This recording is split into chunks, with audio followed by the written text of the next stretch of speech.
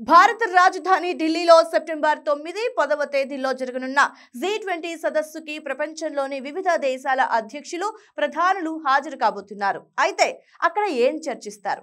G twenty అంటే ఏంటి? G twenty సాధించిందేంటి అనేది ఇప్పుడు చూద్దాం. ఈ ఏడాది సదస్సులో ప్రధానంగా స్థిరమైన అభివృద్ధితో పాటు యుక్రెయిన్ సంఘర్షణపై కూడా చర్చ జరగొచ్చని భావిస్తున్నారు. జీ ట్వంటీ అనేది ఇరవై దేశాల సమూహం. ప్రపంచ ఆర్థిక వ్యవస్థకు సంబంధించిన ప్రణాళికలను చర్చించే వేదిక. ఈ జీ ట్వంటీ దేశాల ప్రపంచ ఆర్థిక ఉత్పత్తిలో ఎనభై ఐదు శాతం ప్రపంచ వాణిజ్యంలో డెబ్బై ఐదు శాతం వాటా కలిగి ఉన్నాయి. ప్రపంచంలోని మూడొంతుల జనాభాలో రెండొంతులు ఈ దేశాల సొంతం. ఇందులో Argentina Australia Brazil Canada China France Germany Bharat Indonesia Italy Japan Mexico Russia Saudi Arabia దక్షిణాఫ్రికా దక్షిణ కొరియా తుర్కియే యూకే యుఎస్ ఉన్నాయి. ఈ పంతొమ్మిది దేశాలతో పాటు ఇందులో స్పెయిన్ శాశ్వత అతిథిగా ఉంది. జీ ట్వంటీ దేశాల్లోని బ్రెజిల్ రష్యా భారత్ చైనా దక్షిణాఫ్రికా దేశాలు కలిసి బ్రిక్స్గా ఏర్పడ్డాయి. దాని విస్తరణలో భాగంగా మరో ఆరు దేశాలకి ఆహ్వానాలు అందాయి.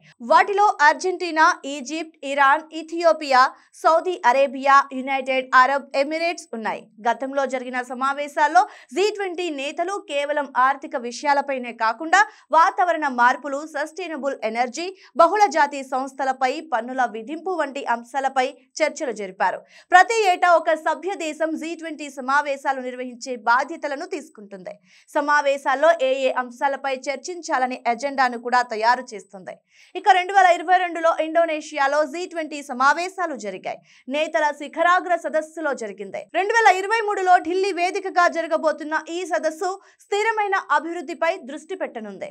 అలాగే అభివృద్ధి చెందిన అభివృద్ధి చెందుతున్న దేశాల మధ్య ఆర్థిక వృద్ధిని విస్తృతం చేసేందుకు తీసుకురావాల్సిన చర్యలపై చర్చలు జరపనుంది. ఈ సదస్సులో సామూహిక సమావేశాలతో పాటు పలు దేశాధినేతలు ఒకరితో మరొకరు చర్చించుకునే అవకాశం కూడా ఉంటుంది.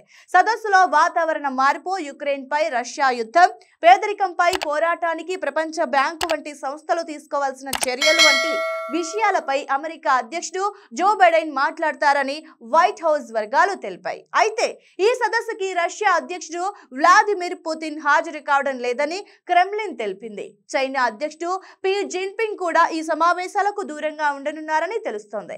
ఇక యుక్రెయిన్లో రష్యా యుద్ధం ఢిల్లీ సదస్సును ఇబ్బంది పెట్టే అవకాశం కూడా ఉంది. ఇక రెండు వేల ఇరవై రెండులో ఇండోనేషియాలో జరిగిన జీ ట్వంటీ సమావేశాల సందర్భంగా అమెరికా రష్యా ప్రతినిధుల మధ్య జరిగిన తీవ్ర వాదనల కారణంగా విదేశాంగ మంత్రులు ఒప్పందాలు చేసుకోలేకపోయారు.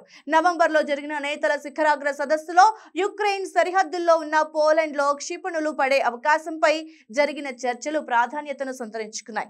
ఇటీవలే దక్షిణాఫ్రికాలో జరిగిన బ్రిక్స్ సదస్సులో పుతిన్ ప్రతినిధిగా లావ్రోవ్ పాల్గొన్నారు.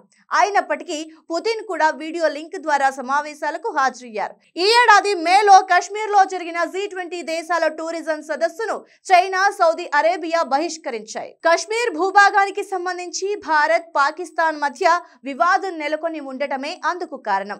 అరుణాచల్ ప్రదేశ్ ఆక్సాయ్ చిన్ భూభాగాన్ని తమ భూభాగంగా పేర్కొంటూ చైనా మ్యాప్ విడుదల చేయడంతో భారత్ చైనా మధ్య దీర్ఘకాలంగా కొనసాగుతున్న సరిహద్దు వివాదం కూడా మళ్ళీ చెలరేగింది.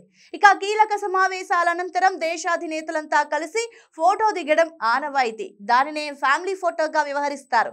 అయితే ఆ ఫోటో ద్వారా పలు దేశాల మధ్య నెలకొన్న విరోధం కూడా అప్పుడప్పుడు భయ అవుతూ ఉంటుంది. రెండు వేల పద్దెనిమిదిలో ఇస్తాంబుల్లోని సౌదీ కాన్సులేట్ వద్ద జర్నలిస్ట్ జమాల్ ఖషోగి హత్యతో యువరాజు మొహమ్మద్ బిన్ సల్మాన్ను ఎవరు పెద్దగా పట్టించుకోలేదు. దీంతో ఆయన ఫోటోలో చివర్లో నిలబడడం కనిపించింది.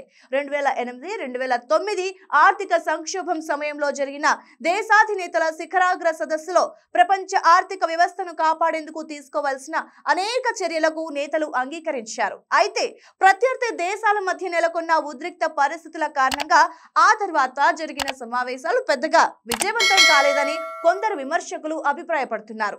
ఏదేమైనప్పటికీ సదస్సులో భాగంగా జరిగే ద్వైపాక్షిక సమావేశాలు నిర్మాణాత్మకంగా జరిగినట్లు నిరూపితమయ్యాయి. రెండు వేల పంతొమ్మిదిలో ఒసాకాలో జరిగిన సదస్సులో వాణిజ్య వివాదాన్ని పరిష్కారం దిశగా చర్చల ప్రక్రియ ప్రారంభించేందుకు అప్పటి అమెరికా అధ్యక్షుడు డొనాల్డ్ ట్రంప్ చైనా అధ్యక్షుడు షీ జిన్పింగ్ అంగీకరించారు. దేశాధినేతల సదస్సు సందర్భంగా తరచూ నిరసన ప్రదర్శనలు జరుగుతున్నాయి. ఇక రెండు వేల పదిలో టొరంటోలో రెండు వేల పదిహేడులో హాంబర్గ్లో జరిగిన సదస్సుల సందర్భంగా పెట్టుబడిదారి విధానాలను వ్యతిరేకిస్తూ ఆందోళనకారులు నిరసనలు తెలిపారు. రెండు వేల పద్దెనిమిది సమ్మిట్ సందర్భంగా జీ ట్వంటీ దేశాల ఆర్థిక విధానాలను వ్యతిరేకిస్తూ రియోడి జెనీరోలో వేల మంది ఆందోళనకారులు ప్రదర్శనలు నిర్వహించారు. ఇక లండన్లో రెండు వేల తొమ్మిదిలో జరిగిన జీ ట్వంటీ శిఖరాగ్ర సదస్సు నిరసనల్లో చిక్కుకుని ఇయాన్ టామలిన్సన్ అనే వ్యక్తి మరణించారు కూడా.